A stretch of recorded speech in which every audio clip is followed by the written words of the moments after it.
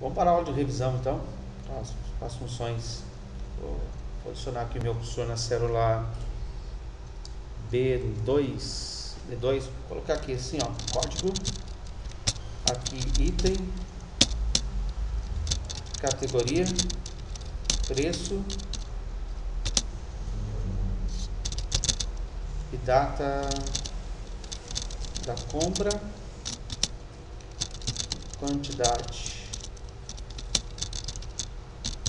preço de venda.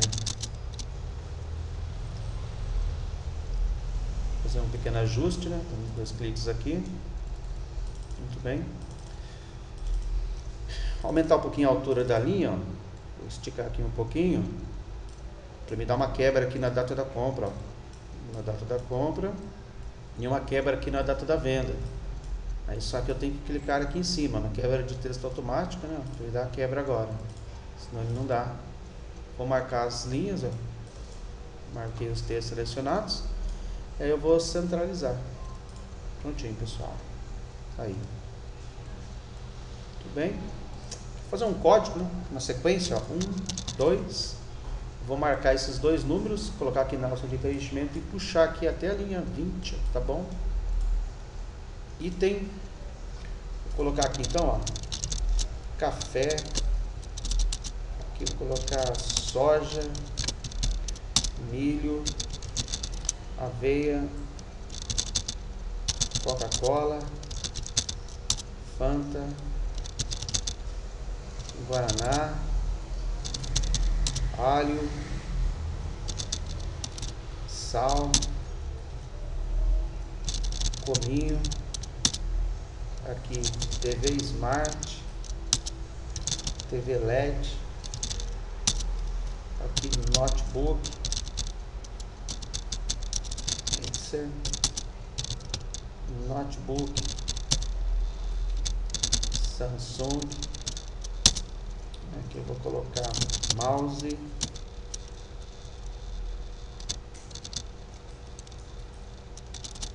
Mouse teclado. Aqui eu vou colocar caderno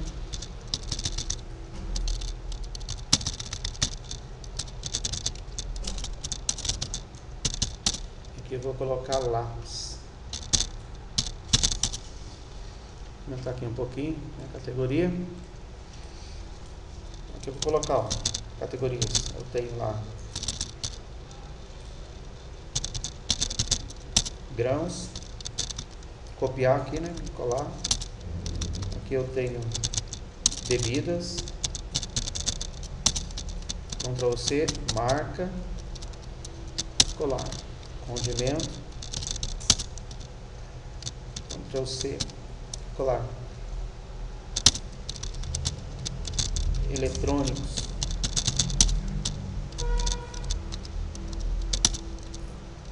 Aqui, informática. E aqui, escritório.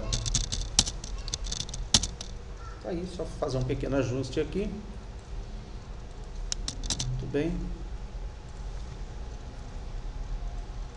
Vou colocar aqui o preço.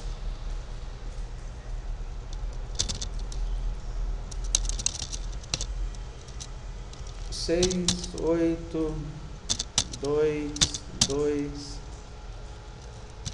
sete, seis, cinco, aqui, dois, três, um, mil seiscentos, mil setecentos, dois mil, dois mil quinhentos quarenta e cinco, cinquenta,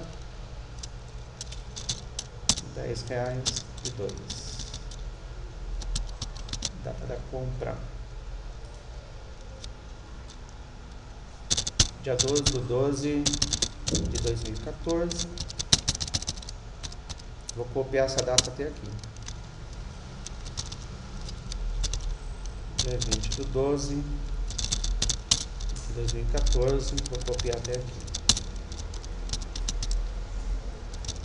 Quantidade, 10, 20. Vou fazer uma sequência, vou marcar os dois e puxar. Pronto.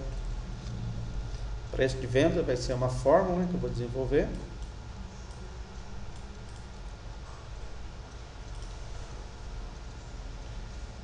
Partir de um acréscimo aqui. Tá? Então, vou colocar aqui na célula N2 é, taxa de venda. Taxa de venda 25%.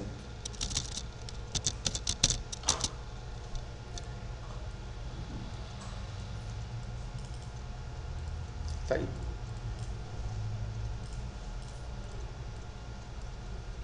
Dar uma quebra aqui também. Ó. Beleza.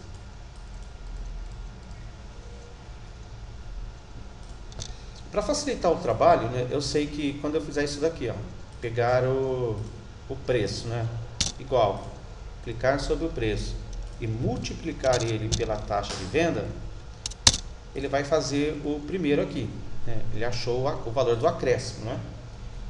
Quando eu puxo, o que, que acontece? Ele muda a referência, não é? Então a referência aqui, ela já não está mais é, apontando para N3.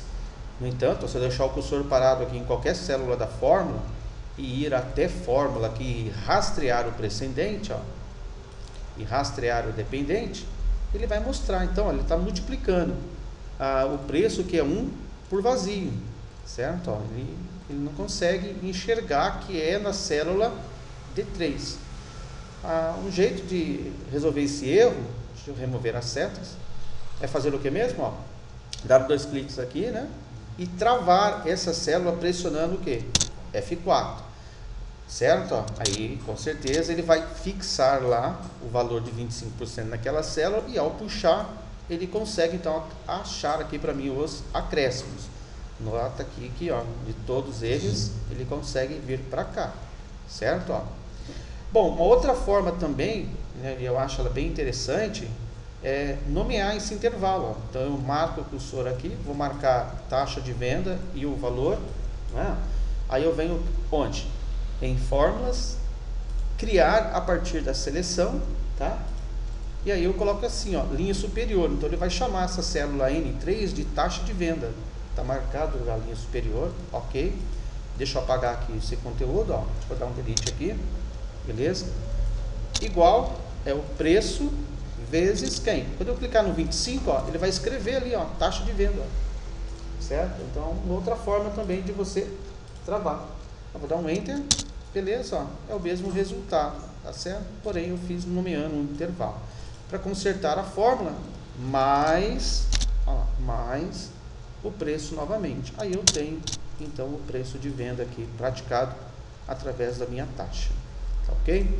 Beleza? Só vou formatar aqui agora como sendo é, um formato aqui de moeda e tá lá o valor aqui do, do preço de venda.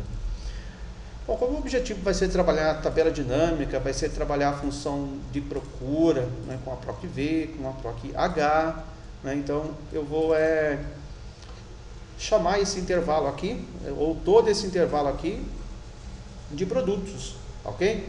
Então uma forma rápida de se fazer isso, ó, é, vir em página inicial, formatar como tabela e escolher uma formatação básica aqui da tabela. Aí ele identifica isso daqui como sendo uma base de dados. Lembrando que a minha tabela, ela tem o que? Ela tem cabeçalhos, certo? Tem que deixar aqui marcado para entender que isso aqui é o cabeçalho. Vou dar OK, pronto, tá ele lá. E agora, lá em cima, onde está no design, tem lá nome da tabela. Eu vou chamar ela de produtos. Pronto, produtos. Então, Está ela aqui, produtos, aqui sendo caracterizado, certo? Essa minha planilha 1, eu vou trocar o nome dela, vou colocar aqui para ela como sendo cadastro.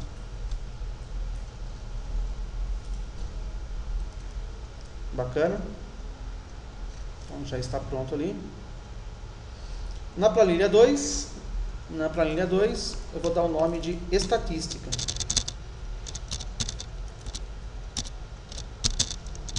Estatística. Prontinho, tá? Bom, a primeira estatística minha, aqui eu vou é, simular, vou colocar aqui é, total por categoria, total por categoria, e quais são as categorias que eu tenho lá, certo? Bom, para mim ganhar tempo, ó, o que, que eu faço? Eu vou voltar aqui no cadastro ó, e selecionar é, todas as minhas categorias aqui, tá bom? Vou dar o Ctrl C nela, vou colocar aqui embaixo ó, de total por categoria, e agora, na hora de colar, não é? Vou lembrar, na caixa de colar especial, eu vou colocar apenas valores, ok. Aí ele cola para mim sem a formatação certo? Só que eu não quero que esses valores fiquem repetidos. Então, o que, que eu faço aqui? Né? Estando esse intervalo selecionado, né, eu vou remover os duplicados. Tá? Então, para a gente remover esses duplicados aqui, eu vou lá em Dados, Remover Duplicatas. Pronto, da coluna B já está marcada. Ok. Prontinho. Removeu? Tá aí, ó. Então, facilitou o meu trabalho. Aqui total por categorias. Aqui eu quero fazer uma somatória da quantidade. Tá? Somatória da quantidade. Ok? Muito bem. Bom, como eu quero somar é, aqui no cadastro somente ah, as categorias, com, com, respondendo às suas quantidades, então eu uso a função CONT-C, não é? Então aqui, olha, eu vou começar por grãos. Então vou colocar igual aqui para ele, ó, CONT C, certo? Ponte C. Aí ele pede para mim o intervalo, tá? O intervalo. Esse meu intervalo está onde? Está em cadastro. E é quem? É a minha categoria, certo? Então eu vou selecionar aqui a minha categoria. Olha só, eu posso clicar aqui sobre ela. Como ele é uma tabela agora, um banco de dados, então se eu levar a setinha um pouquinho mais para cima, deixar assim, quando eu clico, ele sabe que é da tabela produtos e o campo é qual? Categoria. Ponto e vírgula, certo? Qual que é o meu critério? Eu volto aqui para a estatística. O meu critério é este, ó, grãos. Então vou dar um clique nele. Prontinho. Fechou parênteses, vou dar um enter. Tá lá. Eu tenho quatro, certo? Eu tenho quatro. Legal, uma vez a fórmula estando pronta, como os valores são assim, ó, lineares, eu posso puxar a fórmula. Prontinho. Está lá. Certo? Então, contei por é, categoria. Legal? Então, grãos eu tenho quatro aqui, ó. Então, se eu notar, ó, um, dois, três, quatro. Certo? E assim por diante. Ok? Bom, agora eu quero fazer uma somatória por categoria. Não é? Aqui eu coloquei a somatória da quantidade. Agora eu quero é, é, somar os valores. Ok? Quero somar em termos de é, valores, não contar. Ok? Aliás, eu vou até substituir aqui, não é somatório, então é, aqui é contagem né, da quantidade. Só para a gente corrigir. E aqui eu vou colocar assim, ó. Total por categoria e aqui sim somatória dos valores, certo? Então, vamos somar aqui os, os grãos, os preços, ok? Uh, esses dados são idênticos, né? então eu vou marcar esses dados, vou dar um Ctrl C aqui nele e colar, ó, prontinho, é, eu ganho tempo, bacana? Para somar, o que, que eu vou ter que fazer aqui, ó? Olha só. Eu quero é, somar por categoria, então ele vai ter que encontrar tudo que é grãos aqui para mim e eu quero que ele some a quantidade, tá? Some a quantidade, ok? Encontrar tudo que é bebida e somar os valores da, da quantidade de bebida que foram comprados, tá bom? Bom, para que isso é, para que isso possa acontecer, eu vou usar uma função, né? o nome dela é soma C. Tá? Então, soma C.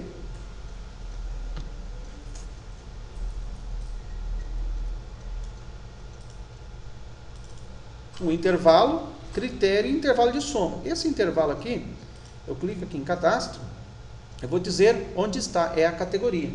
Então, aí, clicou, ele escreveu lá em cima categoria, ponto e vírgula. Agora nota que ele pede o critério. Então eu volto aqui na estatística minha e dou um clique em grãos.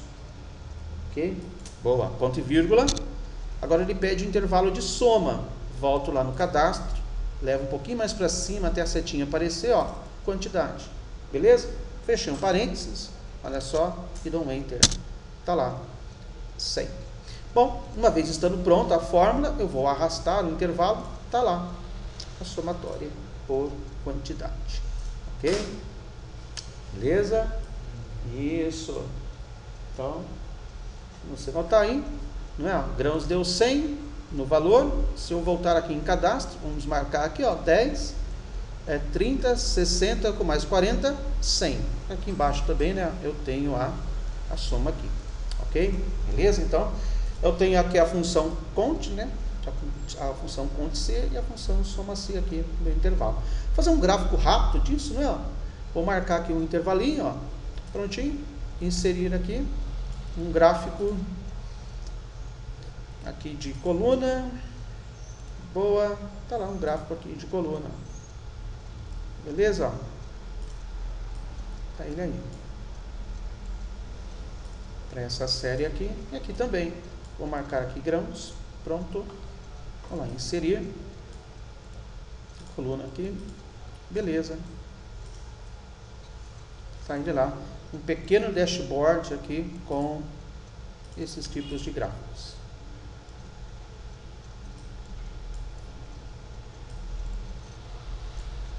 Bem estruturadinho, ó. rápido, preciso.